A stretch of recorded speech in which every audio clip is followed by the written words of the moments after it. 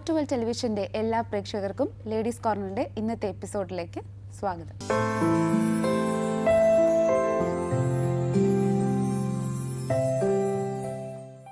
ഇന്ന് നമ്മൾ ladies corner ചർച്ച ചെയ്യുന്നത് പ്രമേഹവും ഗർഭിണികളിലെ ഉയർന്ന പ്രമേഹവും നിയന്ത്രണങ്ങളും എന്ന ടോപ്പിക്കാണ്. ഈ വിഷയത്തെക്കുറിച്ച് കൂടുതൽ കാര്യങ്ങൾ പങ്കുവയ്ക്കുന്നതിനായി ഇന്ന് നമ്മുടെ കൂടെയുള്ള അതിഥി അബിൻ ട്രാൻസ്ഫോർമേഷൻ പ്രോഗ്രാമിന്റെ ന്യൂട്രീഷനിസ്റ്റായ Keerthi ശ്രീജിത്താണ് welcome to ladies corner ma'am നമ്മളൊരു വളരെ റെലവന്റ് ആയിട്ടുള്ളൊരു ടോപ്പിക്കാണ് ഇന്ന് ഡിസ്കസ് ചെയ്യുന്നത്. കാരണം പ്രമേഹം ഒരു ലൈഫ് സ്റ്റൈൽ ഡിസീസാണ് ഓൾമോസ്റ്റ് ഏജ് ഇല്ലാതെ ഏജ് ബാർ ഇല്ലാതെ തന്നെ പ്രമേഹ രോഗികളുടെ അളവ് കേരളത്തിൽ കുറച്ച് കൂടുന്നതായിട്ടും നമുക്കിങ്ങനെ പൊതുവെ കേൾക്കുന്നുണ്ട്. അപ്പം എന്തുകൊണ്ടാണ് ഈ പ്രമേഹ രോഗം ഇങ്ങനെ വർദ്ധിച്ച് വരുന്നത് പൊതുവെ. അപ്പോൾ അത് പറഞ്ഞു വരുമ്പോൾ കുട്ടികളിൽ നിന്ന് തന്നെ തുടങ്ങേണ്ടി വരും. അതായത് കുട്ടികളുടെ ആഹാരശൈലി അതാണ്. അതാണ് ഒരു പരിധിവരെ ഈ ഒരു ഇത്രത്തോളം സ്പ്രെഡ് ആകാനുള്ള കാരണം.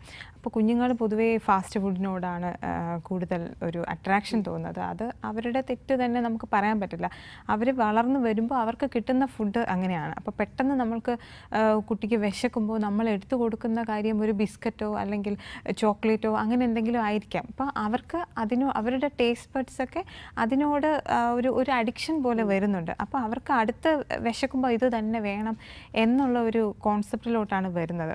അപ്പോൾ അതുകൊണ്ട് തന്നെ അപ്പോൾ പിന്നെ അതുപോലെ തന്നെ ഫാസ്റ്റ് ഫുഡ് ഇപ്പോൾ ജങ്ക് ഫുഡ് അതായത് പിസ്സ ബർഗർ ഇങ്ങനത്തെ ഇങ്ങനത്തെ ഫുഡ് ഐറ്റംസും അതുപോലെ ഹൈ ഫാറ്റ് ഹൈ ഷുഗർ അങ്ങനെ അതുപോലെ സോൾട്ടിന്റെ ഇതെല്ലാം ഹൈ ആണ് ഇതിൽ അപ്പോൾ ഇത്തരം ഫുഡ് ഫുഡ് നമ്മൾ കഴിക്കുമ്പോൾ ഒക്കെ തന്നെ ഗ്രാജുവലി അവരുടെ ബോഡിയിൽ വരുന്ന ചേഞ്ചസ് അതിന്റെ ഒരു റിസൾട്ട് കൊണ്ടാണ് ഈ ഒരു ഇപ്പോൾ ഈ ഒരു സിറ്റുവേഷനിലോട്ട് നമ്മൾ എത്തുന്നത് തന്നെ. അപ്പോൾ അത് നിയന്ത്രിക്കേണ്ടത് നമ്മുടെ വീടുകളിൽ നിന്നാണ്. അപ്പോൾ പാരൻസ് ആണ് കുറച്ച് കൂടുതൽ ശ്രദ്ധ വരേണ്ടത്. ഫുഡ് കൊടുക്കുന്ന കാര്യത്തിലായാലും അവർ കഴിക്കുന്ന കാര്യത്തിലായാലും കൂടുതൽ ശ്രദ്ധ വരേണ്ട വീടുകളിൽ നിന്ന് തന്നെയാണ്. നമ്മുടെ ഒരു അച്ഛനമ്മമാരുടെയൊക്കെ ഒരു പ്രായത്തിലെടുത്ത് നോക്കുമ്പോൾ ഭക്ഷ ഷുഗറൊക്കെ ഐഡന്റിഫൈ ചെയ്യുന്നത് കുറച്ച് ലേറ്റ് ആയിട്ടായിരിക്കും. ഇപ്പോഴാണ് കുറച്ചുകൂടെ ഏർലി ആയിട്ട് നമ്മൾ ചെക്ക് ചെയ്യുന്നതും കണ്ടുപിടിക്കുന്നത്. അപ്പോൾ നമ്മുടെ പാരൻസിനോട് ഇപ്പോൾ നമ്മൾ ഷുഗർ ഉണ്ടെന്ന് പറഞ്ഞു കഴിഞ്ഞാലും പലപ്പോഴും അത് ഇപ്പോഴൊക്കെ കുറച്ച് വ്യത്യാസമുണ്ട്. മുൻകാലങ്ങളിൽ ഹോസ്പിറ്റലിൽ പോയോ ഡോക്ടറെ കാണുകയോ അതിനുവേണ്ട ഒരു മെഷേഴ്സ് ഒന്നും എടുക്കാറോ ഒക്കെ ഇല്ല. പക്ഷേ ഈ ഒരു തലമുറയ്ക്ക് അതിലൊരു വ്യത്യാസം വന്നിട്ടുണ്ട്. ആൾക്കാർക്ക് കൂടുതലൊരു അവബോധം വന്നിട്ടുണ്ട്. ആ ഒരു മാറ്റത്തെ ഒരു ന്യൂട്രീഷനിസ്റ്റായിട്ട് മാം എങ്ങനെയാണ് അതായത് ഇത്രത്തോളം അവെയർ അല്ല അപ്പോഴത്തെ കാലത്ത്. അതായത് അവർക്ക് അതായത് ഇതുപോലെ ഈ ചാനൽസ് തന്നെ ഇപ്പോൾ ഒരുപാടുണ്ട്. അതിൽ തന്നെ അവർ എല്ലാ മിക്ക പ്രോഗ്രാംസും ഈ ഹെൽത്തിനെ കുറിച്ച് ഒരുപാട് പ്രോഗ്രാംസ് ഒക്കെ കണ്ടക്ട് ചെയ്യുന്നുണ്ട്. അപ്പോൾ ഇത് കാണുന്നവർ തന്നെ ഒരു ഒരു ഒരു സമയത്തെങ്കിലും അവർ ചിന്തിക്കാതിരിക്കില്ല. അപ്പോൾ ഇത് വന്നു കഴിഞ്ഞാലുള്ള കോൺസിക്വൻസ് എന്തൊക്കെ എന്തൊക്കെ നമ്മുടെ ബോഡിയിൽ എന്തൊക്കെ ബുദ്ധിമുട്ടുകൾ ഉണ്ടാകും അപ്പോൾ ഇതെല്ലാം അവർ പലതവണ കാണുമ്പോഴത്തേക്കും ഒരു തവണയെങ്കിലും അവരുടെ മൈൻഡിൽ വരും. അപ്പം അടുത്ത് നമ്മൾ ആ ഒരു ഫുഡ് അല്ലെങ്കിൽ ആ ഒരു ഇതിലോട്ട് പോകുമ്പോഴത്തേക്കും നമ്മൾ അതിനെപ്പറ്റി ചിന്തിക്കുന്നുണ്ട്. അപ്പോൾ പണ്ടത്തെ കാലത്താണെങ്കിൽ ഇത്രത്തോളം ഇല്ല. ഇത്രത്തോളം ചാനൽസോ അല്ലെങ്കിൽ ഇത്രത്തോളം അവയർനെസ് ഇല്ല. അപ്പോൾ ചോറ് കഴിക്കുക എന്നതാണ്. ഇപ്പം നമ്മൾ നമ്മളിപ്പോൾ ചോറ് രണ്ടാമതോ മൂന്നാമതോ ഒക്കെ ചോറ് ചോദിച്ചാലും നമുക്ക് അവിടെ അവിടെ കൊടുക്കുന്നുണ്ട്. അതിന് എക്സ്ട്രാ പൈസ ഒന്നും വരുന്നില്ല. അപ്പം അതുകൊണ്ട് തന്നെ അവർക്ക് അതൊക്കെ ഒരു നോർമൽ ആണ് എന്നുള്ള രീതി. അപ്പം നോർമലിൽ നിന്ന് നമ്മൾ അവരെ ചേഞ്ച് ചെയ്യാൻ നോക്കുന്നു എന്നുള്ള ഒരു കോൺസെപ്റ്റാണ് അവരുടെ മൈൻഡിൽ വരുന്നത്. അതുകൊണ്ട് തന്നെ അവർ അപ്പം ആ ഒരു ഏജ് ആ ഒരു കാലഘട്ടത്തിലെ ആൾക്കാർക്കും അതുപോലെയാണ് അവരുടെ വിശ്വാസം എന്താണോ അതിൽ നിന്ന് മാറാനായിട്ട് അവർക്ക് കുറച്ച് ബുദ്ധിമുട്ടാണ്. അപ്പോൾ അതുകൊണ്ട് തന്നെ ഇപ്പോൾ നമ്മൾക്ക് കുറച്ച് അറി ആ കാര്യങ്ങൾ അറിവുണ്ടെങ്കിൽ അവരെ പറഞ്ഞ് മാറ്റാൻ ബുദ്ധിമുട്ടായിരിക്കും. അവർ ശീലിച്ചു വരുന്ന കാര്യങ്ങളായിരിക്കും അവർ കണ്ടിന്യൂ ചെയ്തു പോകുന്നത്. അതുകൊണ്ട് തന്നെ അവരധികം അവെയർ ആകാത്തതും അത് അക്സെപ്റ്റ് ചെയ്യാത്തതും അതുകൊണ്ടാണ് പ്രമേഹം ഐഡന്റിഫൈ ചെയ്ത് കഴിഞ്ഞാൽ മധുരം പാടെ ഒഴിവാക്കണം എന്ന് പറയാറുണ്ട്. അപ്പം അത് ഉൾക്കൊള്ളാൻ പലർക്കും ബുദ്ധിമുട്ടായിരിക്കും. പ്രമേഹ രോഗികൾ ഏതൊക്കെ ഇങ്ങനെയുള്ള ഭക്ഷണങ്ങളാണ് പാടെ നമ്മുടെ ഡയറ്റിൽ നിന്ന് അല്ലെങ്കിൽ നമ്മുടെ ഭക്ഷണത്തിൽ നിന്ന് പാടെ ഒഴിവാക്കേണ്ട കാര്യങ്ങൾ. അതായത് അതിന് മുന്നേ നമ്മുടെ കഴിക്കുന്ന ഭക്ഷണത്തെക്കുറിച്ച് നമ്മൾ അറിയണം അതായത് നമ്മൾ കഴിക്കുന്ന ഭക്ഷണത്തിൽ സൂക്ഷ്മ പോഷകങ്ങൾ അതുപോലെ സ്ഥൂല പോഷകങ്ങൾ അതായത് മൈക്രോ ന്യൂട്രിയൻസും മാക്രോ ന്യൂട്രിയൻസും ഉണ്ട്. മാക്രോ ന്യൂട്രിയൻസ് എന്ന് പറയുമ്പോൾ അത് വലിയ സൈസ് അതായത് നമ്മൾ കഴിക്കുന്ന ചോറ് അരി ആഹാരങ്ങൾ ഗോതമ്പ് ഇതെല്ലാം. ഇതെല്ലാം മാക്രോ ന്യൂട്രിയൻസിനുള്ളതാണ് അതുപോലെ കാർബോഹൈഡ്രേറ്റ് ഇതൊക്കെ കാർബോഹൈഡ്രേറ്റ് ആണ് അതുപോലെ പ്രോട്ടീൻ. പ്രോട്ടീൻ എന്ന് പറയുമ്പോൾ മീൻ അതുപോലെ മത്സ്യം മാംസം ഇങ്ങനത്തെ ഐറ്റംസിലെല്ലാം പ്രോ പ്രോട്ടീൻസ് ഉണ്ട്. ഇതൊക്കെ പ്രോട്ടീൻ അതുപോലെ തന്നെ ഫാറ്റ് അല്ലെങ്കിൽ കൊഴുപ്പ് അതായത് എണ്ണ അത് ബട്ടർ ഗീ ഇതെല്ലാമാണ് കൊഴുപ്പ് വരുന്നത്. അപ്പോൾ ഇതൊക്കെയാണ് മാക്രോ ന്യൂട്രിയൻസ് അതുപോലെ ഇമ്പോർട്ടൻസ് ഉണ്ടത് മൈക്രോ ന്യൂട്രിയൻസ് മൈക്രോ ന്യൂട്രിയൻസ് എന്ന് പറയുമ്പോൾ വൈറ്റമിൻസും മിനറൽസും ധാതുക്കൾ ലവണങ്ങൾ ഇതെല്ലാം. അപ്പോൾ ഇതെല്ലാം നമ്മുടെ നമ്മൾ കഴിക്കുന്ന ആഹാരത്തിൽ അടങ്ങിയിട്ടുണ്ട്. അപ്പോൾ നമ്മൾ കഴിക്കുന്ന ഈ കാർബോഹൈഡ്രേറ്റ് കാർബോഹൈഡ്രേറ്റ് എന്ന് പറയുമ്പോൾ അരി ആഹാരം ഗോതമ്പ് ഇതെല്ലാം. ഇതൊക്കെ ഇതാണ് നമ്മൾ മെയിനായിട്ട് കാർബോഹൈഡ്രേറ്റിനെ ഡിപ്പെൻഡ് ചെയ്തത് അപ്പോൾ കഴിക്കുന്ന കാർബോഹൈഡ്രേറ്റ് വിഘടിച്ച് ശരീരത്തിൽ വെച്ച് വിഘടിച്ചിട്ട് ഗ്ലൂക്കോസ് ഉണ്ടാകും. അപ്പോൾ ഈ ഗ്ലൂക്കോസ് ആണ് നമ്മുടെ ശരീരത്തിന് ആവശ്യമുള്ള എനർജി തരുന്നത്.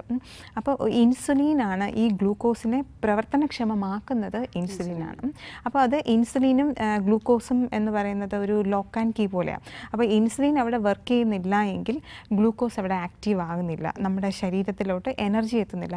ഇൻസുലിന്റെ അഭാവം വരുമ്പോൾ ബ്ലഡിൽ ഗ്ലൂക്കോസിന്റെ അളവ് കൂടുതലായിട്ട് വരുന്നുണ്ട്. അപ്പോൾ ഈ വരുന്ന ഗ്ലൂക്കോസ് ബ്ലഡ് ബ്ലഡിലെ സെൽസിനെ എല്ലാം നശിപ്പിക്കും. അതുപോലെ തന്നെ നമ്മുടെ ശരീരത്തിലെ ഓർഗൻസിനെ നശിപ്പിക്കും. ഇങ്ങനെയാണ് ഓരോരോ കോംപ്ലിക്കേഷൻസ് നമ്മുടെ ബോഡിയിൽ ഉണ്ടാകുന്നത് അപ്പോൾ ഇത് അവോയ്ഡ് ചെയ്യണമെങ്കിൽ കാർബോഹൈഡ്രേറ്റിന്റെ അളവാണ് നമ്മളൊന്ന് കുറയ്ക്കേണ്ടത്. അല്ലാതെ നമ്മളൊന്നും അവോയ്ഡ് ചെയ്യണം അവോയ്ഡ് ചെയ്യാന്ന് വെച്ചാൽ മധുരം അവോയ്ഡ് ചെയ്യേണ്ടത് അത് വേറൊരു കാറ്റഗറി അതായത് അത്രയും ഹൈ ഷുഗറാണ് നമ്മുടെ ബോഡിയിലോട്ട് പോകുന്നത്. പെട്ടെന്ന് നമ്മുടെ ബോഡിയിൽ ഷുഗറിന്റെ അളവ് കൂടത്തേ ഉള്ളൂ. അപ്പോൾ അത് നമുക്ക് എന്തായാലും അവോയ്ഡ് ചെയ്യേണ്ടതാണ്. അത് പക്ഷേ ഈ കാർബോഹൈഡ്രേറ്റിന്റെ അളവ് കുറയ്ക്കുക എന്ന് പറയുമ്പോൾ അരി ആഹാരം അരി ആഹാരം കഴിക്കുന്ന നമ്മളിപ്പോൾ പണ്ട് ചോറൊക്കെ ഒരുപാട് കഴിക്കുന്ന ആ ഒരു ഒരു രീതി മാറിയിട്ട് ചോറിന്റെ അളവ് കുറയ്ക്കുക. ഇപ്പം ചോറ് അവോയ്ഡ് ചെയ്യണം എന്ന് പറയാൻ പറ്റില്ല. കാരണം നമ്മൾ മെയിനായിട്ട് നമ്മുടെ ബോഡി അക്സെപ്റ്റ് ചെയ്ത് കഴിഞ്ഞു. നമ്മൾ കഴിക്കുന്ന ചോറിൽ നിന്നാണ് നമുക്ക് അത്യാവശ്യം എനർജി. പക്ഷേ അതിന്റെ അളവ് കുറയ്ക്കുക. അപ്പം വൈറ്റ് വൈറ്റ് റൈസ് കഴിക്കുന്നതിന് പകരം അതായത് ബ്രാനോട് കൂടിയ തവിടോട് കൂടിയ അരി ഇൻക്ലൂഡ് ചെയ്യാൻ നോക്കുക. തവിടോട് കൂടിയ എന്ന് പറയുമ്പോൾ ചമ്പാവരി നോർമലി കിട്ടുന്ന അരിയല്ല. പക്ഷെ അത് വാഷ് ചെയ്യുമ്പോഴത്തേക്കും അതിന്റെ തവിടൊക്കെ മാറിപ്പോകുന്ന കാണാം. പക്ഷേ ഹൈ ബ്രാനായിട്ടുള്ള റൈസ് അവൈലബിൾ ആണ്. അപ്പോൾ അങ്ങനെ തവിടോട് കൂടിയ അരി നമ്മൾ ആഹാരത്തിൽ ഉൾപ്പെടുത്തുമ്പോൾ തന്നെ അതിൽ വൈറ്റമിൻസും കൂടെ ഉണ്ട് നമുക്ക് കിട്ടുന്നുണ്ട്. അതായത് ബി ട്വൽവ് വൈറ്റമിൻസ് അതുപോലെ സെലീനിയം സിങ്ക് അങ്ങനത്തെ ഒരുപാട് വൈറ്റമിൻസും കൂടെ നമുക്ക് തവിടിൽ നിന്ന് കിട്ടുന്നുണ്ട്. അപ്പോൾ ഇതിൽ തന്നെ ഫൈബറും അടങ്ങിയിട്ടുണ്ട്. അപ്പം അതുകൊണ്ട് തന്നെ നമ്മൾ ഈ അരി ഉൾപ്പെടുത്തുന്ന സമയത്ത് തവിടോടുകൂടിയ അരി ഉൾപ്പെടുത്താൻ നോക്കുക. അതുപോലെ തന്നെ ഈ ഇത് പ്രോട്ടീന്റെ ആവശ്യം. പ്രോട്ടീൻ എന്ന് പറയുമ്പോൾ നമ്മൾ പെട്ടെന്ന് നമ്മൾ ചിന്തയിൽ വരുന്നത് ചിക്കൻ ആയിരിക്കും അല്ലേ? ചിക്കന് ഫിഷ് ഇതൊക്കെയാണ്. പക്ഷേ ചിക്കന്റെ അളവ് ഇപ്പോൾ ഇപ്പം വരുന്ന ഇതെന്ന് പറയുമ്പോൾ ബ്രോയിലർ ചിക്കനാണ് ഹോർമോൺ എല്ലാം ഒരുപാട് ഇഞ്ചെക്ട് ചെയ്ത് അങ്ങനെ വരുന്നതാണ്. അപ്പോൾ അതിന്റെ ഒരു ദൂഷ്യവശം എന്ന് പറഞ്ഞാൽ അത് വേറെയാണ്. പരമാവധി നമ്മൾ എന്താ ലീൻ പ്രോട്ടീൻ അതായത് ആ, മീന് പോലെയുള്ള അതുപോലെ പയർ പയറ് പരിപ്പ് വർഗങ്ങളോ അങ്ങനെയെല്ലാം ഇൻക്ലൂഡ് ചെയ്യാൻ കൂടുതലും ശ്രമിക്കുക. ഇങ്ങനെയുള്ള പ്രോട്ടീൻസ് ഒക്കെ ഇൻക്ലൂഡ് ചെയ്യുക പക്ഷേ പ്രോട്ടീൻ എന്ന് പറയുന്നത് വളരെ അത്യാവശ്യം. നമ്മൾ ഈ കാർബോഹൈഡ്രേറ്റിന്റെ ക്വാണ്ടിറ്റി അവിടെ കുറയ്ക്കുമ്പോൾ തന്നെ നമ്മൾ കൂടുതൽ ഫാറ്റിലോട്ട് ഡിപ്പെൻഡ് ചെയ്യാൻ നോക്കും. ഫാറ്റ് ഫാറ്റ് എന്ന് പറയുമ്പോൾ നമ്മൾ എന്താ ഓയിൽസിലോട്ട് അല്ലെങ്കിൽ വറുത്ത് പൊരിച്ച് കഴിക്കുന്ന അതിലോട്ട് നമ്മൾ ഡിപ്പെൻഡ് ചെയ്യും. കാരണം ബോഡിക്ക് നീഡ്സ് ആണ്. ബോഡിക്ക് എനർജി വേണം. കാർബോഹൈഡ്രേറ്റിനെ പെട്ടെന്ന് അവിടെ കൺട്രോൾ ചെയ്യുന്നുണ്ട്. അപ്പോൾ ബോഡിക്ക് എനർജി ആവശ്യമാണ്. അപ്പോൾ അതുകൊണ്ട് തന്നെ അത് ഫാറ്റിലോട്ട് പോകുന്നു. പക്ഷേ അത് നമ്മൾ കൺട്രോൾ ചെയ്ത് പ്രോട്ടീനിലോട്ട് നമ്മൾ എനർജീനോട്ട് എത്തിക്കുക. പ്രോട്ടീനോട്ട് എത്തിക്കുക എന്ന് പറഞ്ഞാൽ പ്രോട്ടീന്റെ അളവ് നമ്മൾ അത്യാവശ്യം എടുക്കുക. അതായത് ഡെയിലി ഒരു രണ്ട് എഗ്ഗ് വൈറ്റ്സ് എങ്കിലും എടുക്കാൻ നോക്കുക. പിന്നെ കൊഴുപ്പ് കുറഞ്ഞ മത്സ്യം നമ്മൾ ഇൻക്ലൂഡ് ചെയ്യാൻ നോക്കുക. അതുപോലെ ചിക്കൻ എടുക്കുക തന്നെ ബ്രോയിലർ ചിക്കൻ അവോയ്ഡ് ചെയ്തിട്ട് വീക്കിലി വൺസ് ഒക്കെ ചിക്കൻ എടുത്തുകൊണ്ട് പ്രശ്നമില്ല. പക്ഷേ റെഡ് മീറ്റ്സ് അവോയ്ഡ് ചെയ്യാൻ നോക്കുക. ഫ്രൈഡ് ആയിട്ടുള്ള ഐറ്റംസ് ഒക്കെ അവോയ്ഡ് ചെയ്യാൻ നോക്കുക. ഫ്രൈഡ് ഐറ്റംസ് ഒക്കെ അവോയ്ഡ് ചെയ്യാന്ന് വെച്ചാൽ ഒന്ന് ഈ ഈ- ഒരു ഒരു പ്രോട്ടീൻ അല്ലെങ്കിൽ ഈ ഒരു ഫിഷിന്റെ ക്വാളിറ്റി അതായത് ഫിഷിനൊക്കെ omega three fatty acid good fats ഒക്കെ ഉണ്ട്. അപ്പോൾ ഈ ഒരു അതിന്റെ ക്വാളിറ്റി എല്ലാം ലോസ് ആവുകയാണ് ചെയ്യുന്നത്. അപ്പോൾ അതുകൊണ്ട് തന്നെ ഫ്രൈഡ് ഐറ്റംസ് അവോയ്ഡ് ചെയ്യുക. പിന്നെ ഓയിൽ നമ്മുടെ ശരീരത്തിന് അത്രയും ആവശ്യമില്ല. അപ്പം ഓയിലിന്റെ കണ്ടന്റ് കൂടുമ്പോൾ തന്നെ കൊളസ്ട്രോൾ പിന്നെ അതിന്റേതായ വേറെ ബുദ്ധിമുട്ടുകളൊക്കെ നമുക്ക് വരുന്നുണ്ട്. അപ്പോൾ അതുകൊണ്ട് തന്നെ ഓയിലിന്റെ അളവും അവിടെ കുറയ്ക്കുക. അപ്പോൾ പ്രോട്ടീൻ എന്ന് പറയുമ്പോൾ ലീൻ പ്രോട്ടീൻ എഗ്ഗ് വൈറ്റ്സ് രണ്ട് എഗ്ഗ് വൈറ്റ് പയർ പരിപ്പ് വർഗങ്ങൾ ഇതെല്ലാം നമ്മൾ ആഡ് ചെയ്യാം. അപ്പോൾ ഇതാ പ്രോട്ടീൻ. അതുപോലെ തന്നെ നമ്മുടെ വളരെ അത്യാവശ്യമായിട്ടുള്ള കാര്യമാണ് ഈ ഫാറ്റ് ഫാറ്റ് നമുക്ക് ഇപ്പം ഫ്രൈഡ് ഐറ്റംസിൽ എന്ന് പറയുമ്പോൾ നമ്മൾ അത് ഡീപ്പ് ഫ്രൈ ചെയ്തത് അത് ഒരുപാട് ഓയിൽ ഒഴിച്ച് നമ്മൾ ചെയ്യുന്നതാണ് അപ്പോൾ ഒന്ന് അതിന്റെ അതിന്റെ കരിഞ്ഞു വരുന്നതും ഇതെല്ലാം നമ്മുടെ ശരീരത്തിന് കേടാണ്. ദോഷമാണ്. പക്ഷേ അതുപോലെ തന്നെ ഓയിലിന്റെ അളവ് കുറയ്ക്കുന്നത് കൊണ്ട് തന്നെ നമുക്കത് ഫ്രൈഡ് ഐറ്റംസ് അവോയ്ഡ് ചെയ്യണം. പിന്നെ ഓയിലിന്റെ എമൗണ്ട് എന്ന് പറയുമ്പോൾ ഒരു രണ്ട് ടീസ്പൂൺ മാക്സിമം ഒരു രണ്ട് ടീസ്പൂൺ ഓയിൽ ഒരു നോർമൽ പേഴ്സൺ തന്നെ ഞാൻ അഡ്വൈസ് ചെയ്യാറുണ്ട് ഒരു two to three teaspoon oil നമ്മൾ യൂസ് ചെയ്യാൻ പാടുള്ളൂ. അപ്പോൾ ഡയബറ്റിക് വന്ന ഒരു പേഷ്യന്റ് ഡയബറ്റിക് പേഷ്യന്റ് ആണെങ്കിൽ നമുക്ക് വേറെ കുറച്ച് കോംപ്ലിക്കേഷൻസ് ഒക്കെ വരാനുള്ള ചാൻസ് കൂടുതലാണ്. അതുകൊണ്ട് തന്നെ വളരെയധികം ശ്രദ്ധ വേണം. പക്ഷേ ഓയിൽ നമുക്ക് അവോയ്ഡ് ചെയ്യാനും പറ്റില്ല. കാരണം വൈറ്റമിൻ ഈ ഫാറ്റ് ഓളുമ്പിൾ വൈറ്റമിൻസ് ആയ എ ഡി ഇ കെ ഇതെല്ലാം നമുക്ക് ഓയിലിൽ നിന്നും അതുപോലെ ഇങ്ങനത്തെ നിന്നാണ് നമുക്ക് കിട്ടുന്നത്. ഫാറ്റ് സോളുബിൾ വൈറ്റമിൻസ് കിട്ടുന്നത്. അതുകൊണ്ട് കംപ്ലീറ്റ്ലി നമുക്ക് ഓയിലിനെ അവോയ്ഡ് ചെയ്യാനും പറ്റില്ല. അതുപോലെ തന്നെ ഇപ്പം ഇതിപ്പോൾ മാക്രോ ന്യൂട്രിയൻസ് അതുപോലെ മൈക്രോ ന്യൂട്രിയൻസ് നമുക്ക് വളരെയധികം ഇമ്പോർട്ടന്റ് ആണ്. നമ്മളിപ്പോൾ കഴിക്കാൻ പാടില്ലാത്ത കാര്യങ്ങളിൽ നമ്മൾ കൂടുതൽ കോൺസെൻട്രേറ്റ് ചെയ്യുന്നുണ്ട്. അപ്പോൾ എന്തൊക്കെ കഴിക്കാം എന്ന് പലപ്പോഴും ചിന്തിക്കുന്നില്ല. അപ്പോൾ അതിനെപ്പറ്റി നമ്മൾ കൂടുതൽ ചിന്തിക്കുക. കഴിക്കാൻ പാടില്ലാത്ത ചിന്തിക്കുമ്പോൾ നമ്മൾ കൂടുതൽ ഡിപ്രസ്ഡ് ആവുകയും ചെയ്യാം. അപ്പോൾ കഴിക്കാൻ പറ്റുന്ന എന്തൊക്കെയാണ്? അത് സത്യത്തിൽ അത് നോർമൽ ഒരു ഒരു വ്യക്തിക്കും കഴിക്കാവുന്നത് മാത്രമേ നമ്മൾ അഡ്വൈസ് ചെയ്യുന്നുള്ളൂ. എന്നാൽ ചില പഴവർഗങ്ങൾ അവോയ്ഡ് ചെയ്യോ അല്ലെങ്കിൽ പഞ്ചസാര കുറച്ച് അല്ലെങ്കിൽ അവോയ്ഡ് ചെയ്യോ എന്ന് മാത്രമേ നമ്മൾ പറയുന്നുള്ളൂ സാധാരണ. അതുപോലെ ഫ്രൂട്ട്സ് ഐറ്റംസ് കുറയ്ക്കുക എന്ന് അല്ലെങ്കിൽ ചില ഫ്രൂട്ട്സ് ഐറ്റംസ് ഒഴിവാക്കുക എന്നത് പറയുന്നുള്ളൂ. പക്ഷേ ഇവർക്ക് കഴിക്കാൻ പാടില്ലല്ലോ എന്നുള്ളത് വെച്ചൊരു ഡിപ്രഷനാണ് വരുന്നത്. അപ്പോൾ ഈ ഓയിലിന്റെ പറഞ്ഞതുപോലെ തന്നെ വൈറ്റമിൻസും മിനറൽസും നമ്മൾ ഒരു ഒരു പിടി നട്ട്സ് ഒരു കയ്യിൽ ഒതുങ്ങുന്നത് കപ്പലണ്ടി ആവാം കപ്പലണ്ടി എടുക്കാം അല്ലെങ്കിൽ നട്ട്സ് എടുക്കാം വാൾനട്ട് എടുക്കാം. അപ്പോൾ ഇങ്ങനെ ഒരു പിടി നട്ട്സ് നമ്മൾ ഇടനേരങ്ങളിൽ എടുക്കാൻ നോക്കുക. അതിൽ തന്നെ നമുക്ക് ആവശ്യമുള്ള വൈറ്റമിൻസും മിനറൽസും നമുക്ക് അത്യാവശ്യം കിട്ടും. അതുപോലെ തന്നെ ഈ ഇത് സിങ്ക് സെലീനിയം ഇതുപോലുള്ള മിനറൽസൊക്കെ വൈറ്റമിൻസും മിനറൽസും എല്ലാം നമ്മുടെ അത്യാവശ്യത്തിന് നമുക്ക് കിട്ടും. അപ്പോൾ അതുകൊണ്ട് തന്നെ ഒരു നട്ട്സ് ഇടനേരങ്ങളിൽ ആഡ് ചെയ്യാൻ നോക്കുക. പിന്നെ ഫ്രൂട്ട്സ് ഒരിക്കലും ഫ്രൂട്ട്സ് കഴിക്കാൻ പാടില്ല എന്ന് നമുക്ക് പറയാൻ പറ്റില്ല. കാരണം ഈ പറഞ്ഞതുപോലെ മൈക്രോ ന്യൂട്രിയൻസ് നമുക്ക് കിട്ടുന്ന ഒരു വേ എന്ന് പറയുന്ന ഫ്രൂട്ട്സിൽ കൂടെ തന്നെയാണ്. അപ്പോൾ ഫ്രൂട്ട്സ് ചില ഫ്രൂട്ട്സ് ഇപ്പം ഇത് നന്നായിട്ട് കൺട്രോൾ ചെയ്ത് പോകുന്ന ഒരാൾക്കാണെങ്കിൽ ഇപ്പം സാധാരണ മാങ്ങ മാങ്ങ കഴിക്കുക മാംഗോ കഴിക്കണ്ട എന്നാണ് പറഞ്ഞു വരുന്നത്. അപ്പം നന്നായിട്ട് കൺട്രോൾ ചെയ്ത് വരുന്ന ഒരാളാണെങ്കിൽ ഒരു പകുതി മാങ്ങ കഴിച്ചു എന്ന് വെച്ച് പ്രശ്നമൊന്നുമില്ല. കൺട്രോൾ അല്ല എങ്കിൽ അങ്ങനെയുള്ള ഫ്രൂട്ട്സ് ഹൈ കാലറി ഫ്രൂട്ട്സ് ഒക്കെ അവോയ്ഡ് ചെയ്യുന്നതാണ് നല്ലത്. അല്ലാതെ ആപ്പിൾ കഴിക്കാം. ആപ്പിൾ നമുക്ക് കഴിക്കാം. പേരയ്ക്ക കഴിക്കാം. അല്ലെങ്കിൽ പാഷൻ ഫ്രൂട്ട് കഴിക്കാം. അപ്പോൾ ഇങ്ങനെ നമ്മുടെ ചുറ്റും ഉള്ള ഫ്രൂട്ട്സ് തന്നെ നമുക്ക് കഴിക്കാം. അവൈലബിൾ ആവുന്ന സീസണലി അവൈലബിൾ ആവുന്ന ഫ്രൂട്ട്സ് തന്നെ നമുക്ക് കഴിക്കാൻ പറ്റുന്നുണ്ട്. മാമി മാം ഈ പറഞ്ഞല്ലോ ഫ്രൂട്ട്സ് നമുക്ക് കഴിക്കാമെന്ന്. ചില ഒരു കൺസെപ്റ്റ് ഉണ്ട്. നമ്മൾ ചിലർ പറയും ഫ്രൂട്ട്സ് നമ്മൾ പാടെ ഒഴിവാക്കണം. കാരണം ഷുഗർ കണ്ടന്റ് അതിലുള്ളത് കൊണ്ട് നമ്മൾ പാടെ ഒഴിവാക്കണം. ചിലർ പറയും ഒരു ഡേയിൽ ഏതെങ്കിലും ഒരു ഫ്രൂട്ട് കഴിക്കാം എന്ന് പറയും ചിലർക്ക് ഇമ്മ്യൂണിറ്റി ബൂസ്റ്റ് ചെയ്യാൻ വേണ്ടിയിട്ട് ചില ഫ്രൂട്ടുകൾ അവരുടെ ഡെയിലി ലൈഫിൽ ഇപ്പോൾ പൊമ പൊമഗ്രനേറ്റ് പോലെയുള്ള കാര്യങ്ങളൊക്കെ കഴിക്കേണ്ടി വരും.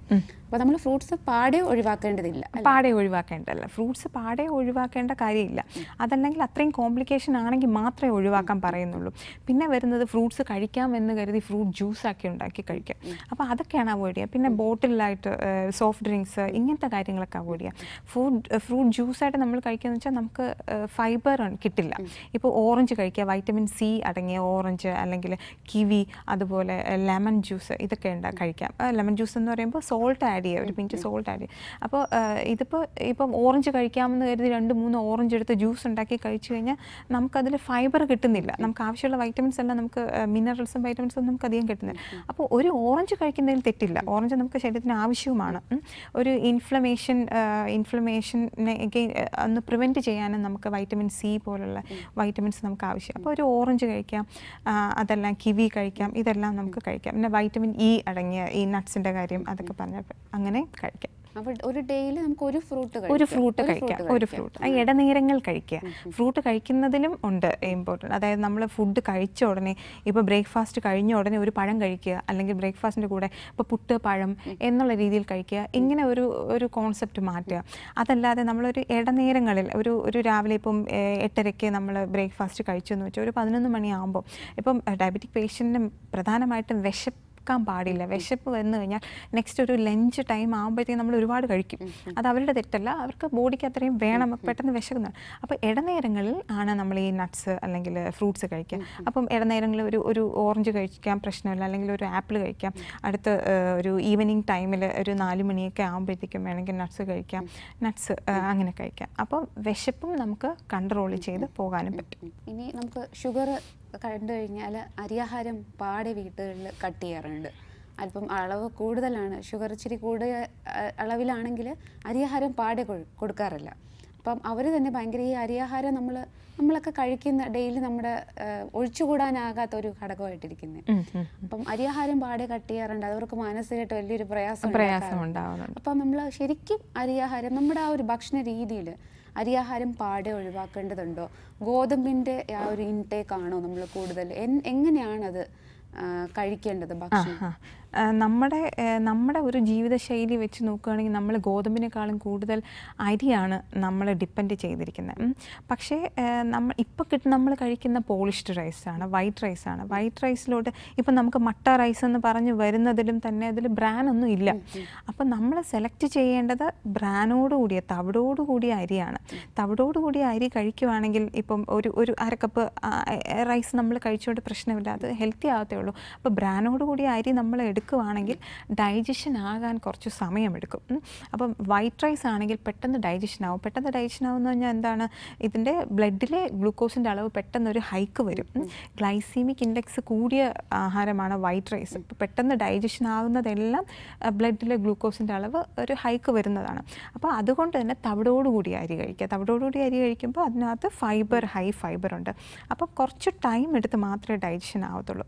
അപ്പോൾ അതുകൊണ്ടാണ് ഈ തവിടോടുകൂടി അരി കഴിക്കണമെന്ന് പറഞ്ഞത്. അതുപോലെ തന്നെ നമ്മൾ ഇപ്പം നമുക്ക് അത് എന്തായാലും ഒരു കപ്പ് റൈസ് എന്താ ഒന്ന് ഒന്നര കപ്പ് റൈസൊക്കെ കഴിച്ചുകൊണ്ടിരിക്കുന്ന ആളടുത്ത് പെട്ടെന്ന് ഒരു പകുതി പോർഷൻ കഴിക്കാൻ പറയുമ്പം അവർക്ക് വിശപ്പ് വരും. പിന്നെ ഫില്ല് ചെയ്യാൻ എന്തെങ്കിലും വേണം അല്ലേ? ഫില്ല് ചെയ്യാൻ വേണം. അപ്പോൾ അതുകൊണ്ട് തന്നെ നമ്മൾ കൂടുതലും സാലഡ്സ് ഉൾപ്പെടുത്താൻ നോക്കുക. ഒരു പകുതി ഒരു കപ്പ് ഒരു ബൗളിലെ പകുതി റൈസ് എടുക്കുവാണെങ്കിൽ തന്നെ സാലഡ് മസ്റ്റായിട്ട് സാലഡ് എന്ന് പറയുമ്പോൾ ഡിഫറെന്റ് കളേഴ്സ് നമുക്ക് ആഡ് ചെയ്യാം. അതായത് ഒരു ഒരു റെയിൻബോ കളേഴ്സ് എന്ന് വേണമെങ്കിൽ പറയാം. റെഡ് കളർ അല്ലെങ്കിൽ അതായത് ബെൽ പെപ്പേഴ്സ് നമ്മുടെ ക്യാപ്സിക്കം ക്യാപ്സിക്കം തന്നെ റെഡ് യെല്ലോ അങ്ങനെ കളേഴ്സ് ഉണ്ടല്ലോ. അതുപോലെ ക്യാരറ്റ് ഒരു ഹാഫ് പോർഷൻ ക്യാരറ്റ് പൊതുവേ റൂട്ട്സ് ആൻഡ് റൂവേഴ്സ് കഴിക്കാൻ പാടില്ല. അല്ലെങ്കിൽ ക്യാരറ്റ് തോരനായിട്ടോ ബീട്രൂട്ട് തോരനായിട്ടോ ചേന ചേമ്പ് കപ്പ ഇങ്ങനത്തെ മണ്ണിനടിയിലുള്ള വെജിറ്റബിൾസ് ഒന്നും നമ്മൾ കഴിക്കാൻ പറ്റില്ല പക്ഷേ ക്യാരറ്റ് എന്ന് പറയുമ്പോൾ ആന്റി ഓക്സിഡന്റ് കൂടുതലാണ്. ഒരു ഇൻഫ്ലമേ ഒരു ആന്റി ഇൻഫ്ലമേഷൻ ഒരു പ്രോപ്പർട്ടി ഉണ്ട്. ഈ ഒരു ഡിഫറെന്റ് കളേഴ്സ് ആയിട്ടുള്ള വൈറ്റമിൻസ് നമ്മൾ ആഡ് ചെയ്യുമ്പോൾ അതായത് ആന്റി ഓക്സിഡന്റ് റിച്ച് ആണ്. അപ്പോൾ ഒരു ഹാഫ് പോർഷൻ ക്യാരറ്റ് എടുക്കാം. അതുപോലെ ക്യാപ്സിക്കം നമുക്ക് എടുക്കാം. അതുപോലെ അതുപോലെ ലീഫി വെജിറ്റബിൾസും നമുക്ക് ആഡ് ചെയ്യാം. ഇത് സാലഡ്സ് സാലഡ്സിൽ തന്നെ ആഡ് ചെയ്യാം. അല്ലാതെ നമുക്ക് ലീഫി വെജിറ്റബിൾ ചീര മുരിങ്ങയില മധുരച്ചീര നമ്മുടെ ചുറ്റുമുള്ള ഇലക്കറികൾ തന്നെ നമുക്ക് എടുക്കാം. അതെല്ലാം നമുക്ക് ആഡ് ചെയ്യാം. അപ്പോൾ ഇങ്ങനെ കഴിക്കുമ്പോൾ ഒരു ഹാഫ് കപ്പ് റൈസ് ബ്രാനോട് കൂടിയ റൈസ് പിന്നെ സാലഡ് അത് പിന്നെ പ്രോട്ടീൻ ലീൻ പ്രോട്ടീൻ ഇപ്പോൾ ഇത് ചെറിയ ഫിഷ് ബോൺ ബോണോട് കൂടി കഴിക്കാൻ പറ്റുന്ന ഫിഷ് ആണെങ്കിൽ അത്രയും നല്ലത്. ഫിഷ് അതുപോലെ ഇത് ഇലക്കറികൾ ഇതെല്ലാം. എഗ് വൈറ്റ് നമ്മൾ ഒരു ഒരു ദിവസം രണ്ട് എഗ് വൈറ്റ് എങ്കിലും നമ്മൾ കഴിക്കണം. പ്രോട്ടീൻ ഒന്ന് ബാലൻസ് ചെയ്യാൻ വേണ്ടി. ഷുഗർ പേഷ്യൻസിന് നമുക്ക് കഴിക്കാം അല്ലേ? രണ്ട് എഗ് വൈറ്റ് കഴിക്കാം. പക്ഷേ എഗ് യോക്കോട് കൂടി കഴിക്കുന്നത് അത് അത് ഇപ്പോഴും ഒരു കോൺട്രവേഴ്സിയിലാണ് അതായത് പക്ഷേ നല്ല ഫാറ്റാണ് ഉള്ളത്. എഗ്ഗ് യോക്കിൽ നല്ല ഫാറ്റാണ് ഉള്ളത്. അപ്പം നമുക്ക് ഒരു ആഴ്ചയിൽ ഒരു ഒരു മൂന്ന് ദിവസമൊക്കെ നമുക്ക് എഗ്ഗ് യോക്ക് അഡ്വൈ യോക്കോടുകൂടി എഗ്ഗ് കഴിക്കാൻ അഡ്വൈസ് ചെയ്യാം. ഡെയിലി അഡ്വൈസ് ചെയ്യാൻ പോസിബിൾ അല്ല. പിന്നെ ഇതിനോട് പറയുമ്പോൾ ജസ്റ്റേഷണൽ ഡയബറ്റിക് വളരെ ഒരു ചലഞ്ചിങ് ആയിട്ട് ഒരു ഇതിനകത്തൊരു ഒരു പ്രഗ്നൻസി പീരീഡിൽ വരുന്ന ഒരു അവസ്ഥയാണ് ജസ്റ്റേഷൻ ഡയബറ്റിക്സ്. വേറെ ഒരു പ്രശ്നങ്ങളും ഉണ്ടാവില്ല. പക്ഷെ അഞ്ചാം മാസം ആവുമ്പോഴേക്കും പ്രഗ്നൻസിയുടെ ഫിഫ്ത്ത് മന്ത് ആവുമ്പോഴേക്കും ആണ് മോസ്റ്റ്ലി ഇതിങ്ങനെ ഇത് തലപൊക്കി. വരുന്നത്. അപ്പോൾ ഇത് ശരിക്കും ഈ ഒരു അവസ്ഥ എന്ന് പറയുന്നത് ഹെറിഡിറ്ററി ആണ് കാരണം അതുവരെ ഷുഗർ ഒന്നും ഇല്ലാത്ത ആൾക്കാരായിരിക്കാം മേ ബി. ഇത് ഇത് എന്തുകൊണ്ടാണ് ഈ ഒരു ജസ്റ്റേഷണൽ ഡയബറ്റീസ് എന്ന് പറയുന്ന അവസ്ഥ? ഹെറിഡിറ്ററി ആണോ അതോ നമ്മുടെ ജീവിത ആ ജസ്റ്റേഷണൽ ഡയബറ്റീസ് അല്ലെങ്കിൽ ഗർഭാവസ്ഥയിലെ പ്രമേഹം ഇപ്പോഴും അതിന്റെ കാരണങ്ങൾ മനസ്സിലായിട്ടില്ല. അതിന്റെ സ്റ്റഡീസ് നടക്കുന്നേ ഉള്ളൂ. കാരണം ഒരു പരിധി വരെ അത് ഹെറിഡിറ്ററി ആണ്. അമ്മ അമ്മയ്ക്ക് ഡയബറ്റിക് അല്ലെങ്കിൽ ഈ പ്രസവ സമയത്ത് ഡയബറ്റിക് ഉണ്ടെങ്കിൽ കുഞ്ഞിനും മോൾക്കും ആ സമയമാകുമ്പം വരാം എന്നതുണ്ട്. അതല്ല എങ്കിൽ അല്ലാതെയും നമുക്ക് കണ്ടുവരുന്നുണ്ട് ഇപ്പോൾ ഫസ്റ്റ് ഫസ്റ്റ് പ്രഗ്നൻസിയിൽ ഒരു സിക്സ്ത് മന്തിൽ അല്ലെങ്കിൽ ഫിഫ്ത്ത് മന്ത് സിക്സ്ത് മന്തിലൊക്കെയാണ് കണ്ടു വരുന്നുണ്ടെങ്കിൽ ചിലപ്പോൾ ഒരു സെക്കൻഡ് ഒരു പ്രഗ്നൻസി ടൈം ആകുമ്പം കുറച്ചും കൂടെ നേരത്തെ വരുന്നത് കണ്ടുവരുന്നുണ്ട്. അപ്പം അവർക്ക് നമുക്ക് നമുക്ക് ഒരുപാട് ഭക്ഷണ നിയന്ത്രണം നമുക്ക് പറ്റില്ല കൊണ്ടുവരാൻ പറ്റില്ല. പക്ഷേ നമുക്ക് റൈസിന്റെ ക്വാണ്ടിറ്റി കാർബോഹൈഡ്രേറ്റിന്റെ ക്വാണ്ടിറ്റി നമുക്കൊന്ന് കുറച്ചിട്ട് പക്ഷേ നമുക്ക് ബാലൻസ്ഡ് ഡയറ്റ് നമുക്ക് കൊടുക്കാൻ പറ്റുള്ളൂ അതിപ്പോൾ ഓരോരുത്തർക്കും അത് ഡിപ്പെൻഡ് ചെയ്തിരിക്കും. ഓരോ ഓരോ ഓരോ വ്യക്തികളെ ഡിപ്പെൻഡ് ചെയ്തിരിക്കും. അപ്പം ചിലവർക്ക് ചില ഫുഡിനോട് ഫുഡ് ഇഷ്ടപ്പെടായിക വരാം അങ്ങനെയൊക്കെ നമുക്ക് വരാം അങ്ങനെയൊക്കെ വരും കണ്ടുവരും. അപ്പോൾ അതുകൊണ്ട് തന്നെ നമുക്ക് കോമൺ ആയിട്ട് പറയാൻ പറ്റില്ല. അവരുടെ രീതി അനുസരിച്ച് എന്നാൽ ബാലൻസ്ഡ് ആയിട്ട്. പാൽ കുടിക്കാനൊക്കെ പറയാം. പാൽ അതായത് പാട മാറ്റിയ സാധാരണ പാൽ കുടിക്കാറുണ്ട് ഈ പ്രഗ്നൻസി സമയത്ത്. പക്ഷേ ഇപ്പോൾ നമുക്ക് പാൽ അഡ്വൈസ് ചെയ്യാതിരിക്കാൻ പറ്റില്ല. പാട മാറ്റിയ ഒരു ഗ്ലാസ് പാൽ കുടിക്കാൻ പറയാം. മുട്ട കഴിക്കാൻ പറയാം. മുട്ട യോക്കോട് കൂടി തന്നെ കഴിക്കാൻ പറയാം.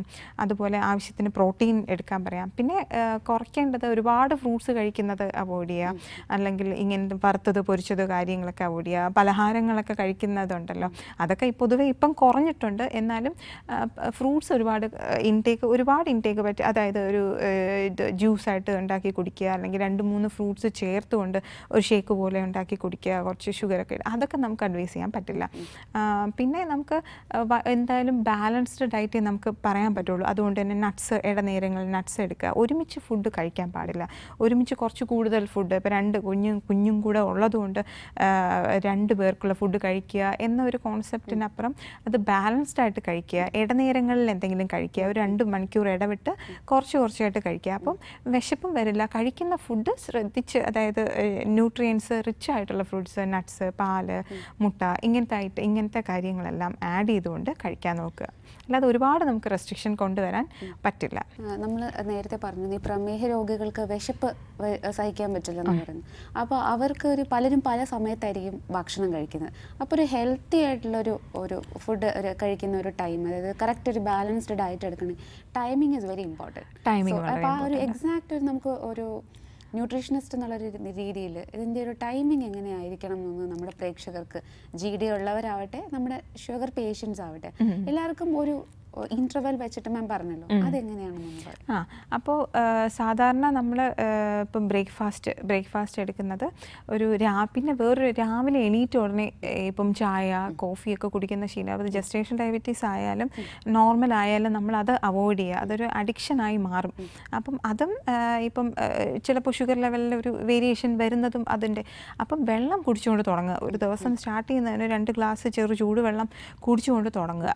അത് കഴിഞ്ഞിട്ട് നമുക്ക് ഏഹ്, ഇപ്പം വ്യായാമം ചെയ്യുന്നതാണെങ്കിൽ വ്യായാമം ചെയ്യുന്ന ഇപ്പോൾ രാവിലെ ഡയബറ്റിക് പേഷ്യന്റ് ആണെങ്കിൽ രാവിലെ നമുക്ക് വ്യായാമം അധികം അഡ്വൈസ് ചെയ്യാൻ പറ്റില്ല. ചിലപ്പോൾ അവർ ഹൈപ്പോ ആകാൻ ചാൻസ് ഉണ്ട്. അപ്പോൾ ബ്രേക്ക്ഫാസ്റ്റ് കഴി ബ്രേക്ക്ഫാസ്റ്റ് ഒരു എട്ട് എട്ട് മണിയൊക്കെ ആകുമ്പോഴത്തേക്കും ബ്രേക്ക്ഫാസ്റ്റ് കഴിക്കുക. അത് ആവശ്യത്തിന് പ്രോട്ടീൻ ഇൻക്ലൂഡ് ചെയ്യുക. ഇപ്പം അരി ആയാലും ഗോതമ്പായാലും അരി നമുക്ക് ഒരിക്കലും അവോയ്ഡ് ചെയ്യരുത്. ഒരു നേരമെങ്കിലും അരി ഉൾപ്പെടുത്തുക.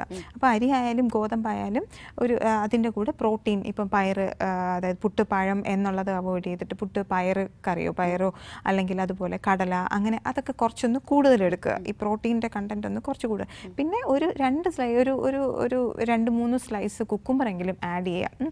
മെയിൻ പോർഷൻ അതായത് മെയിൻ ആയിട്ടുള്ള നമ്മുടെ മീൽസിന്റെ കൂടെ സാലഡും കൂടെ ആഡ് ചെയ്യുക. അതൊരു ജസ്റ്റേഷൻ ഡയബറ്റീസ് ആയാലും അതുപോലെ നോർമൽ ഒരു ഡയബറ്റിക് ആയാലും അങ്ങനെ ഒരു സാലഡും കൂടെ ആഡ് ചെയ്യാൻ നോക്കുക. അതുപോലെ ഒരു ഒരു പതിനൊന്ന് മണിയൊക്കെ ആകുമ്പോഴത്തേക്കും എന്തെങ്കിലും നട്ട്സോ ഒരു പിടി നട്ട്സോ അല്ലെങ്കിൽ നാരങ്ങ വെള്ളം ഉപ്പിലിട്ടതോ അല്ലെങ്കിൽ മോരും വെള്ളം ആകട്ടെ മോരും വെള്ളം കുറച്ച് ഉപ്പിലിട്ടതോ. അത് ഇതൊക്കെ മോരും വെള്ളത്തിൽ വൈറ്റമിൻ സി ഒക്കെ റിച്ച് ആണ് അത് നമുക്ക് അതുപോലെ കാൽഷ്യം നമുക്ക് കിട്ടുന്നുണ്ട്. അപ്പോൾ അപ്പം മോരും വെള്ളം കുടിക്കാം. അതുപോലെ അല്ലെങ്കിൽ നട്ട്സ് ഒരു പിടി നട്ട്സ് അല്ലെങ്കിൽ കപ്പലണ്ടി അതെല്ലാം ഒരു ഒരു കൈയിനുള്ളിൽ ഒതുങ്ങുന്ന ഒരാളുടെ ക്വാണ്ടിറ്റി എന്ന് വെച്ചാൽ അവരുടെ കൈയിനുള്ളിൽ ഒതുങ്ങുന്ന ക്വാണ്ടിറ്റിയാണ് അപ്പോൾ ആ. ഒരു ക്വാണ്ടിറ്റിയിൽ നട്ട്സ് എടുക്കാം. പിന്നെ ഒരു ഒരു മണി ആകുമ്പോഴത്തേക്കും ലഞ്ച് എടുക്കുക. ലഞ്ച് പറഞ്ഞതുപോലെ റൈസാണ് പ്രിഫർ ചെയ്യുന്നുണ്ടെങ്കിൽ തവിടോട് കൂടിയ റൈസ് എടുക്കുക. അതിനോടൊപ്പം തന്നെ പ്രോട്ടീൻ ശ്രദ്ധിക്കുക ഇലക്കറികൾ ശ്രദ്ധിക്കുക പിന്നെ തേങ്ങേന്റെ അളവ് കുറയ്ക്കുക. ഇപ്പോൾ ബ്രേക്ക്ഫാസ്റ്റിന് എടുത്താൽ തന്നെ ഇഡ്ഡലീന്റെ കൂടെ ചമ്മന്തി അല്ലെങ്കിൽ ദോശ ചമ്മന്തി ഇങ്ങനെയൊക്കെ വരുമ്പോഴത്തേക്കും തേങ്ങേന്റെ അളവ് അവിടെ കൂടുന്നുണ്ട്. തേങ്ങയുടെ കാർബോഹൈഡ്രേറ്റ്സ് കൂടുതലാണ് അപ്പോൾ തേങ്ങ ഒഴിച്ച കറികളാണ് നമ്മൾ കൂടുതലും പ്രിഫർ ചെയ്യുന്നത്. അപ്പോൾ അതൊക്കെ ഒന്ന് കുറച്ചിട്ട് തേങ്ങേന്റെ അളവ് കുറയ്ക്കുക. അല്ല നമുക്ക് ഒട്ടും അവോയ്ഡ് ചെയ്യാൻ പറയാൻ പറ്റില്ല. അളവൊന്ന് കുറയ്ക്കുക. അപ്പോൾ തോരനായിട്ടോ അങ്ങനെ എന്തെങ്കിലും നമ്മൾ ഇടുന്നതുകൊണ്ട് പ്രശ്നമില്ല. അപ്പോൾ ലഞ്ചിന് തവിടോട് കൂടിയ അരിയും അതുപോലെ എന്തെങ്കിലും ഒരു വെജിറ്റബിൾ ഡിഷ് വെജിറ്റബിൾ ഡിഷ് ഒന്ന് തന്നെ മതി. അപ്പോൾ രണ്ട് മൂന്ന് വെജിറ്റബിൾ ഡിഷ് നമ്മൾ ഉണ്ടാക്കുമ്പോഴത്തേക്കും കടുക് താളിക്കുക തേങ്ങ അതിൽ അതെല്ലാം ഇൻക്ലൂഡ് ആവുന്നുണ്ട്. അപ്പോൾ ഒരു വെജിറ്റബിൾ ഡിഷ് ഒരു സാലഡ് ഒരു പ്രോട്ടീൻ ഇപ്പം അത് fish non veg non veg ഫിഷോ അല്ലെങ്കിൽ എഗ്ഗോ അല്ലെങ്കിൽ എന്താ ഇത് പയർ പരിപ്പ് വർഗങ്ങളോ ദാലോ ഇതൊക്കെ നമുക്ക് ഇൻക്ലൂഡ് ചെയ്യാം. അപ്പോൾ ഇതും ഇൻക്ലൂഡ് ചെയ്തുകൊണ്ട് ലഞ്ച് അത് തന്നെ അത്യാവശ്യം നമുക്ക് കിട്ടും. സാലഡിൽ ഡിഫറെന്റ് കളേഴ്സ് വെജിറ്റബിൾസ് കൊണ്ടുവരാൻ നോക്കുക. പിന്നെ ഒരു നാല് മണിയൊക്കെ ആകുമ്പോഴത്തേക്കും അവർക്ക് ഈ ഇപ്പം ഫ്രൂട്ട്സ് ഒരു ഫ്രൂട്ട് എടുക്കാം ഒരു ആപ്പിൾ എടുക്കാം അല്ലെങ്കിൽ ഒരു ഓറഞ്ച് എടുക്കാം. ഇപ്പോൾ ജ്യൂസിന് പകരം ഓറഞ്ച് ആയിട്ട് തന്നെ എടുത്ത് കഴിക്കാൻ നോക്കുക. പിന്നെ ഒരു ഒരു ഏഴര ഏഴ് ഏഴര എട്ട് മണിക്കകത്ത് തന്നെ ഡിന്നർ എടുക്കാൻ നോക്കുക. ഡിന്നറിന് ഇപ്പോൾ രാത്രി നമ്മൾ വീറ്റ് തന്നെയാണ് അഡ്വൈസ് ചെയ്യുന്നത്. കാരണം വീറ്റിന് ഫൈബർ ഉള്ളതുകൊണ്ട് തന്നെ അല്ലെങ്കിൽ തവിടോടുകൂടി അരി കഴിക്കാം അത് കുഴപ്പമില്ല. പക്ഷേ വൈറ്റ് റൈസ് എടുക്കാൻ പാടില്ല. അപ്പം ഗോതമ്പ് എടുക്കുന്നുണ്ടെങ്കിൽ ഒരു രണ്ട് ചപ്പാത്തി ഒന്നര ചപ്പാത്തിയോ രണ്ട് ചപ്പാത്തിയോ എടുക്കുന്നുണ്ടെങ്കിൽ അത് ഡൈജഷൻ ആവാൻ കുറച്ച് സമയം എടുക്കും. അതായത് അതിന് എന്താ നാരുണ്ട്. അതുകൊണ്ട് ഡൈജഷൻ ആവാൻ കുറച്ച് സമയം എടുക്കും. അതിന്റെ കൂടെ തന്നെ സാലഡ് ഒരു പ്ലേറ്റ് സാലഡ് എടുക്കുക. അതുപോലെ പ്രോട്ടീൻ ആഡ് ചെയ്യുക. ഇത്ര ആഡ് ചെയ്യുക. നാരുള്ളത് കൊണ്ട് തന്നെ ഇതിന്റെ ഗ്ലൈസിമിക് ഇൻഡെക്സ് കുറവാണ് ഈ ചപ്പാത്തി അല്ലെങ്കിൽ വീറ്റ് പുട്ട് ദോശ ഇങ്ങനെ എടുക്കുന്നത് അപ്പം ഇത് വീറ്റ് എടുത്തു കഴിഞ്ഞാൽ കുറച്ച് ടൈം എടുത്ത് ഡൈജഷൻ ആവത്തുള്ളൂ. അപ്പോൾ അതുകൊണ്ട് തന്നെ രാവിലെ ഇനി പിന്നെ നമ്മൾ ഫുഡ് കഴിക്കുന്നത് രാവിലെയാണ്. അതുവരെ നമ്മൾ ഫുഡ് കഴിക്കുന്നില്ല. അപ്പോൾ പേഷ്യന്റിന് ഹൈപ്പോ ആകാണ്ട് ഷുഗർ ലെവൽ കുറയാണ്ട് നമ്മൾ ശ്രദ്ധിക്കുന്നത് നല്ല അതുകൊണ്ടാണ് ഗോതമ്പ് എടുക്കാൻ പറഞ്ഞത് പിന്നെ ഒരു ഉറങ്ങുന്നതിന് മുന്നേ ആയിട്ട് ഒരു ഗ്ലാസ് പാൽ ഡൈല്യൂട്ട് ചെയ്ത പാൽ ഒരു ഒരു ഹാഫ് കപ്പ് മിൽക്ക് എടുക്കുന്നുണ്ട് പ്രശ്നമില്ല. അപ്പോൾ ഇത്രയാണ് ഒരു ദിവസത്തെ ഫുഡ് അപ്പോൾ ജസ്റ്റേഷണൽ ഡയബറ്റീസ് വന്നു ഡെലിവറിക്ക് ശേഷം. പിന്നെ എല്ലാവരും നമ്മൾ ഡയബറ്റിക് ആയിരുന്നു എന്നുള്ള ആ ഒരു കാര്യം മറക്കും. മറന്നു പോകുന്നു. പിന്നെ അവർ ഈ കൺട്രോൾ ചെയ്തിരുന്ന എല്ലാം കൂടിയിട്ട് മാക്സിമം ഇൻടേക്ക് ഷുഗർ ഒക്കെ എടുക്കും. എടുക്കുന്നുണ്ട്. സോ ഇത് പലപ്പോഴും ഷുഗർ വരാറില്ല. നമ്മളോട് റെഗുലറായിട്ട് ഒരു റൊട്ടീൻ സിക്സ് മന്ത്സ് കൂടുമ്പോഴൊക്കെ ചെക്ക് ചെയ്യാൻ പറയുന്നുണ്ട്. So after delivery G D അത് കണ്ടിന്യൂ ചെയ്യാനുള്ള സാധ്യതയുണ്ടല്ലോ. അല്ലെങ്കിൽ വരാനുള്ള പ്രീ ഡയബറ്റിക് എന്നൊക്കെ പറഞ്ഞിട്ടൊക്കെ ബ്ലഡ് ടെസ്റ്റ് ചെയ്യുമ്പോൾ കാണാറൊക്കെ ഉണ്ട്. അപ്പൊ അങ്ങനെയൊക്കെ വരുന്ന നമുക്ക് ഒരു സൂചന തരും പ്രീ ഡയബറ്റിക് എന്ന് പറയുന്നത്. അപ്പൊ അങ്ങനെയൊക്കെ വരുമ്പോഴേ നമ്മൾ നമ്മുടെ ഒരു ഫുഡ് ഹാബിറ്റ് ഇപ്പൊ മാമി പറഞ്ഞതിനല്ലാണ്ട് വേറെ എന്തെങ്കിലും നമ്മൾ കെയർ ചെയ്യേണ്ടതുണ്ടോ? അതോ ഈ ഒരു ലൈഫ് സ്റ്റൈൽ തന്നെ നമ്മൾ പിന്തുടരണം? ആ അപ്പം പൊതുവേ നമ്മുടെ ഡെലിവറി കഴിഞ്ഞ് കഴിയുമ്പോൾ ജസ്റ്റേഷൻ ഡയബറ്റീസ് മാറാറാണ് പൊതുവേ കണ്ടുവരാറ്. ചിലവർക്ക് ഒരു ഒന്ന് രണ്ട് മാസം ചിലപ്പം ചെറിയ രീതിയിൽ കാണിച്ചിട്ട് അത് കംപ്ലീറ്റ് ആയിട്ട് മാറാറുണ്ട്. പക്ഷേ മാറി എന്ന് കരുതിയിട്ട് ഒരുപാട് ചോറ് കാരണം അപ്പം ഫീഡിങ് ടൈം ആയതുകൊണ്ട് തന്നെ അമ്മമാർക്ക് വിശപ്പും ഉണ്ടായിരിക്കും. പക്ഷേ അത് നമ്മൾ ഒരുപാട് ചോറ് കഴിക്കാണ്ടൊക്കെ നോക്കുക. അപ്പോൾ അത്യാവശ്യം അതൊന്ന് ലിമിറ്റ് ചെയ്യുക ചെയ്യാം. പക്ഷേ നമുക്ക് ഒരുപാട് ന്യൂട്രിയൻസ് നമുക്ക് അതുകൊണ്ട് തന്നെ നമുക്ക് ഒരുപാട് കൺട്രോൾ ചെയ്യാനും പറ്റില്ല. അപ്പം നല്ല ഒരു ഡയറ്റ് നമ്മൾ പ്രഗ്നൻസി സമയത്ത് ഒരു ബാലൻസ്ഡ് ഡയറ്റ് നമ്മൾ ഫോളോ ചെയ്ത് വന്നു കഴിഞ്ഞാൽ നമുക്ക് അങ്ങനെ ഒരു പ്രശ്നം പിന്നെ വരുന്നില്ല. ഇപ്പോൾ ജി ഡി ആണെങ്കിലും നമ്മൾ ഒരു ബാലൻസ്ഡ് ഡയറ്റ് നമ്മൾ കൺട്രോൾ ചെയ്ത് വരുന്ന ഒരാൾക്ക് ഈ ഒരു സ്റ്റേജിൽ ഡയബറ്റി ആ ഒരു ഷുഗർ ലെവൽ അത് തന്നെ മാറുന്നുണ്ട്. അപ്പോൾ പക്ഷേ മാറിക്കഴിഞ്ഞിട്ട് പിന്നെ നമ്മൾ ഒരുപാട് ചോറെടുക്കുക എന്നതിലോട്ട് വരുന്നതിനേക്കാളും ഒരു കൺട്രോൾ നമുക്കുണ്ടായിരിക്കുക ഇങ്ങനെ ഒരു ഹിസ്റ്ററി ഉണ്ട്. അപ്പോൾ വരാൻ ചാൻസ് ഉണ്ട് എന്ന ഒരു ബോധം നമുക്കുണ്ടായിരിക്കുക. അപ്പോൾ അതുകൊണ്ട് തന്നെ ചോറിന്റെ അളവ് ഒന്ന് കുറച്ചിട്ട് കുറച്ചിട്ട് ഇടയ്ക്ക് ഇടനേരങ്ങളിൽ എന്നുള്ള രീതിയിൽ അത് തന്നെ ഒന്ന് ഫോളോ ചെയ്യുന്നതാണ് ഏറ്റവും നല്ലത്. പ്രമേഹ രോഗം വൺസ് ഐഡന്റിഫൈ ചെയ്ത് കഴിഞ്ഞാൽ അത് നമ്മുടെ ഒരു നമ്മുടെ ഒരു ജേർണിയിൽ ഇങ്ങനെ കൂടെ ഉണ്ടാവുന്ന ഒരു പ്രതിഭാസമായിട്ട് തന്നെയാണ് വരുന്നത്. അപ്പോൾ ഈ ഭക്ഷണം അല്ലാതെ ഭക്ഷണ നിയന്ത്രണത്തോടൊപ്പം തന്നെ പ്രമേഹം നിയന്ത്രണത്തിൽ കൊണ്ടുപോകും. നിയന്ത്രിച്ച് കൊണ്ടുപോകാൻ നമ്മൾ എന്തൊക്കെ കാര്യങ്ങളാണ്? ലൈഫിൽ നമ്മുടെ ഒരു ജീവിതത്തിന്റെ ഒരു ശൈലി ഉണ്ടല്ലോ ഭക്ഷണം അല്ലാതെ. അതെ അതെ അതെ. അപ്പോൾ ഭക്ഷണം എന്ന് പറയുന്നത് ഒരു പാർട്ടാണ്. പ്രമേഹത്തിന്റെ ഒരു പാർട്ടാണ്. ഒന്ന് നമ്മൾ മെഡിസിനോ അല്ലെങ്കിൽ ഇൻസുലിനോ എന്തെങ്കിലും കഴിക്കുന്നുണ്ടാവാം. അപ്പോൾ ഇത് ഇൻസുലിനോ മെഡിസിനോ എടുക്കുന്ന ഒരാൾക്ക് അത് കൺട്രോൾ ചെയ്ത് പോകാനാണ് നമ്മൾ ഭക്ഷണം കഴിക്കുന്നത്. അതോടൊപ്പം ഇമ്പോർട്ടന്റ് ആണ് വ്യായാമം ചെയ്യുക എന്നത്. അപ്പം ഒരു ഒരു ദിവസം നമ്മളൊരു ഒരു മുപ്പത് മിനിറ്റ് ഒരു ഇരുപത് മുപ്പത് മിനിറ്റ് എങ്കിലും നമ്മൾ വ്യായാമത്തിൽ ഏർപ്പെടുക. അതായത് ഒന്ന് പുറത്തോട്ട് നടക്കാൻ പോകും അപ്പം അധികം ആക്ടിവിറ്റീസ് ചെയ്യാൻ ബുദ്ധിമുട്ട് തോന്നുന്നുണ്ട് എങ്കിൽ നമുക്ക് നടക്കാൻ പോവാം. അല്ലെങ്കിൽ ചെറുതായിട്ടൊന്ന് ഓടാൻ പോവാം. ശരീരം നന്നായിട്ട് വേർക്കണം. അപ്പോൾ ഒരു ദിവസം നമ്മൾ വേർത്തിട്ടുണ്ട്. അല്ലെങ്കിൽ നമ്മൾ ഒരു കുറച്ച് സമയം നമ്മളെ ബോഡിക്ക് എന്തെങ്കിലും ആക്ടിവിറ്റീസ് കൊടുത്തിട്ടുണ്ട് എന്ന് നമ്മൾ ഉറപ്പ് വരുത്തുക. അതാണ് വളരെ ഇമ്പോർട്ടന്റ് അപ്പോൾ മരുന്നിനോടൊപ്പം ഡയറ്റിനോടൊപ്പം തന്നെ വ്യായാമവും വളരെ ഇമ്പോർട്ടന്റ് ആണ്. ഇന്ന് നമ്മൾ ലേഡീസ് കോർണർ പ്രമേഹം ഗർഭിണികളുടെ പ്രമേഹം വർദ്ധിച്ചു വരുന്ന ആ സാഹചര്യം അതിന്റെ നിയന്ത്രണങ്ങൾ ഇത്തിരി ഒത്തിരി കാര്യങ്ങൾ നമുക്കിന്ന് ചെയ്തു. വളരെ റെലവന്റ് ആയിട്ടുള്ളൊരു ടോപ്പിക് ആയിരുന്നു. മാം ഒത്തിരി കാര്യങ്ങൾ ബാലൻസ്ഡ് ആയിട്ട് തുടങ്ങിയ ഒത്തിരി കാര്യങ്ങൾ വ്യായാമം കുറേ കാര്യങ്ങൾ ഞങ്ങൾ പ്രേക്ഷകർക്ക് വേണ്ടിയിട്ട് പറഞ്ഞു കൊടുത്തു. വളരെ നന്ദിയുണ്ട് പ്രോഗ്രാമിൽ വന്ന്. ഇത്ര വളരെ ഒരു എഫക്റ്റീവ് ആയിട്ടുള്ള കുറേ കാര്യങ്ങൾ പറഞ്ഞു തന്നതിന്.